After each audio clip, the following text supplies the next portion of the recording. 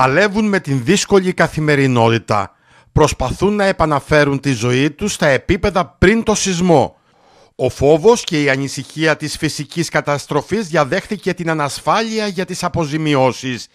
Κερασάκι στην τούρτα, έξι ακόμα δεσμεύσεις τραπεζικών λογαριασμών σεισμόπληκτων με βάση τις καταγγελίες που έκανε στον 984 ο πρόεδρος του Συλλόγου Σεισμοπαθών Αρκαλοχωρίου η Ελπίδα, Κώστας Γκαντάτσιος. Νέες δεσμεύσεις λογαριασμών, φτάσαμε τις 6 μέχρι τώρα. Ναι. Ε, η κατρακύλα νομίζω δεν έχει τέλος και απορώ προχθές στην εκπομπή σας που άκουσα και την κυρία Μπλοκογιάννη ότι αυτά θα, θα λογοδοτήσουν τα τραπεζικά πιστοτικά ιδρύματα. Ο πρόεδρος του Συλλόγου Σεισμοπαθών Αρκαλοχωρίου, η Ελπίδα Κώστας Γκαντάτσιος, επικαλέστηκε την δήλωση που είχε κάνει στην εκπομπή Αντιθέσεις η βουλευτής Χανίων της Νέας Δημοκρατίας Δώρα Μπακογιάννη, όταν κλήθηκε να σχολιάσει τις εξελίξεις με τους δεσμευμένους λογαριασμούς των σεισμοπαθών στην ευρύτερη περιοχή του Αρκαλοχωρίου. Κατασχέθηκαν από τράπεζα. Ενώ υποτίθεται, όχι υποτίθεται, με ΦΕΚ είναι ακατάσχετη λογαριασμοί αυτοί. Λοιπόν, αυτό είναι παράνομο, κύριε Σαχίνε.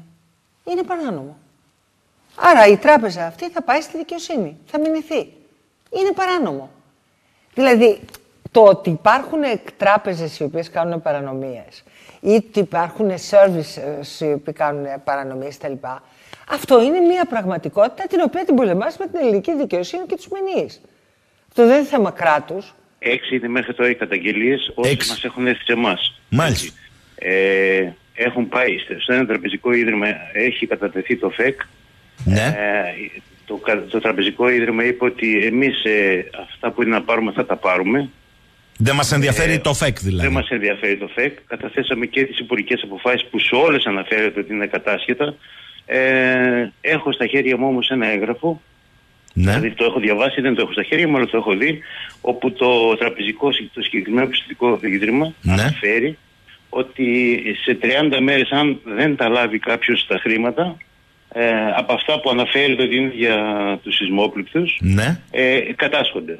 Και ενώ οι σεισμοπαθείς του Αρκαλοχωρίου εξακολουθούν να ανεβαίνουν το δικό τους γολγοθά, ο νομικός του Δικηγορικού Συλλόγου Πειραιά Γιώργος Καλτσάς περιγράφει τη διαδικασία που ακολουθούν οι τράπεζες μέχρι να φτάσουν στη δέσμευση των τραπεζικών λογαριασμών. Αυτό κύριε Σακίνη με βάση αυτά που άκουσα από τον πρόεδρο ε, ουσιαστικά οι, τα ποσά αυτά εξομοιώνονται κατά κάποιο τρόπο με μισθό γιατί τι λέει ο κώδικας πολιτικής δικονομίας για το μισθό ότι αν δεν τον αναλάβεις εντός 30 ημερών όπως είπε ο πρόεδρος για τις αποζημιώσεις Ναι. από εκεί και πέρα θεωρείται κατάθεση με αποτέλεσμα να, να, να μπορεί να κατασχεθεί κανονικά. Μα τι μισθός, αφού είναι α, ε, ενίσχυση από το πρόγραμμα αρρωγή, δεν δεν Αυτό φαίνεται. θέλω, θέλω να πω Ναι. πως το εξομοιώνει ώστε να μπορέσει μετά από την πάροδο των 30 ημερών να το θεωρήσει κατάθεση και να μπορέσει να το κατάσχει.